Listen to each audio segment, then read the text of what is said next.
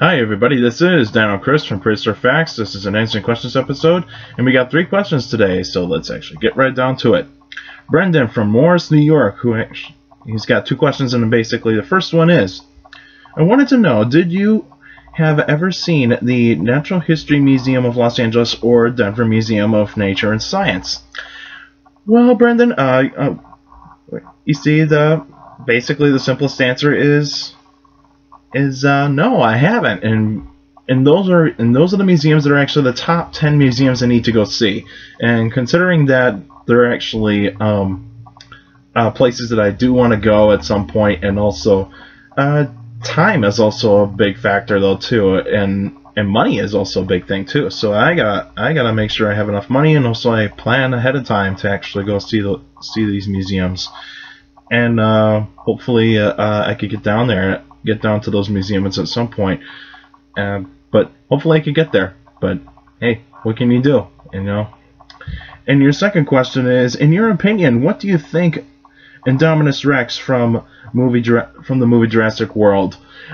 Well, I would say that the first the first uh, time I saw the trailer of Jurassic World, I actually thought like like they they're probably overstepping it a little bit in terms of why are they actually doing like a hybrid dinosaur to actually to actually be the villain of of Jurassic World. I mean, I understand that like uh, Hollywood needs to make a movie, make a dinosaur movie that actually does have like a villain, where basically would be the scariest dinosaur, and um, and basically like they said in the Jurassic World films. basically they wanted to um, they wanted to best uh, T-Rex uh, by making it bigger and scarier, and that would actually scare the kids and even the grown-ups. But even though I, and then when I actually got to see the movie, it was actually a good character. I thought it was a good character for uh, Jurassic World. I thought it was actually kind of a really cool villain. Uh, I would say that, and um, and that's and I even if you watch my review of Jurassic World, you actually um, you can actually um, uh, tell why um, I might have given the film a pretty good praise, and also um, why I say it's my second favorite film uh, in the Jurassic Park slash Jurassic World series, and considering that Jurassic Park is my favorite, so. Alright, Greg from Sherwood, Ohio, who actually says, My new question has to do were there any predators other than humans capable of killing ground sloths? And if they could how would they kill how would they do it? Predators being ones that actually coexisted with the sloths and not ones pitted against them in versus matchups like Tyrannosaurus Rex or super crocs like Deinosuchus, Sarcosuchus, or Purussaurus, for example. Well, uh, I would say if we actually have to go back to the Pleistocene, basically, uh, there, Greg, I would actually say that the only animals that would have probably actually taken on a ground sloth would have would have actually been uh, cave bears, or otherwise um, saber-toothed cats. And so saber-toothed cats would have been able to actually kill a ground a juvenile ground sloth, and so will um, cave bears, otherwise I like to say the short-faced bear in North America. And what I would think is this. I mean, I think the short-faced bear could actually take on a full-grown uh, adult ground sloth, but the thing is, is that ground sloths are so are so heavily built and basically they got weaponry that could kill predators if they actually try to attack an adult. And see, those claws can do some real damage. And so those would have actually been really hard uh, animals to kill, especially that um, that when you actually look at ground sloths, they were pretty tough, very robust, and so they probably had a lot of muscle on them. So pretty much they were not going to be brought down very easily with strength. So you really need to actually have a really good set of weaponry to actually kill a ground sloth.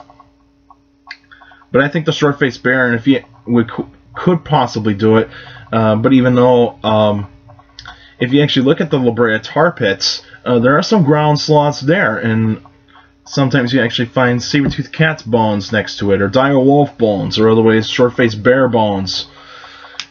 You know, all those kinds of uh, animal, all those kinds of predators. But even though dire wolves probably would not take on a ground sloth, considering that it's way too heavily built uh, for them to take down. I mean, if it did hunt, if the basically if the dire wolves were in packs, I would say that they would still avoid a ground sloth. Uh, even though if they try to attack one, uh, their their biggest prey of choice would have actually been bison, the North American bison, the ancient version of the North American bison.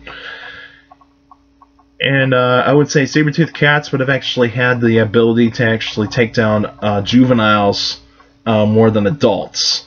And that's my opinion. I don't think they would actually go for an adult unless if the adult was actually, uh, like say, like if it was trapped, or otherwise if it was injured, or otherwise uh, sick, old, or weak. You know, that would be the only way that I think a saber-toothed cat could actually take on uh, a ground sloth. But if it was a fully healthy adult, I would say I would say the ground sloth would have never actually gotten to. I'd say the ground sloth would have actually killed uh, the saber-toothed cat very easily. As with the short-faced bear, I would say that the short-faced bear, since it has those bone-crunching jaws and it has those really long claws with those big paws, uh, I would say that it could take on a, an adult ground sloth. But it, since that the short-faced bear was more of a scavenger than a predator, I would actually say it would very rarely uh, attack, rarely go after a ground sloth. But I mean, it's just all speculation, really. I mean, I mean you could put it in any other way uh, of how you actually would envision uh, other predators attacking a, a ground sloth. Now, as for like the larger cave bears, like in Europe, uh, I would say since they're a little bit more herbi herbivorous than than carnivorous, so pretty much they would probably avoid ground sloths mostly. But even though if they actually had the chance to see a dead ground sloth uh, within walking distance, I would say that they would actually eat one if they had the chance. But anyway, it, it's all opinion right now, so yeah, that's all I got for that one. All right, that's it for now. And uh, next week, now next Sunday will actually be uh, a new special episode, and uh, I already got some people that are actually giving me dinosaurs uh, to talk about, or otherwise other prehistoric animals. Uh, but uh, feel free to give me suggestions of what uh, prehistoric animal you want me to talk about. It could be dinosaurs, could be a prehistoric sea monster, could be prehistoric birds, could be prehistoric reptiles, anything. You know, just just mainly vertebrates. I only count vertebrates, and uh, and you can still send me questions uh, for any answering questions episode that will be coming up. And email and Facebook is open, so if you got a question about dinosaurs or any other prehistoric life, feel free to email me at dinochris71 at gmail.com, or otherwise you can go on my Facebook page, Prehistoric Facts with Dino Chris. Uh, like the page, you can actually post your questions on any comment in the comment section on any Facebook post. And you can also follow me on Twitter at CSGRALL. That's my Twitter page. I post pretty cool stuff there. And also uh, take care of the people around you. And also for younger people out there, make sure to listen to your parents, your teachers, and your guardians. Those are the best motivation you can have for good education. It's very important to have a good education. So with a good education, you get a good job in the future. All right, that's it for now. And I'll see you guys next Sunday. That'll be August 9th.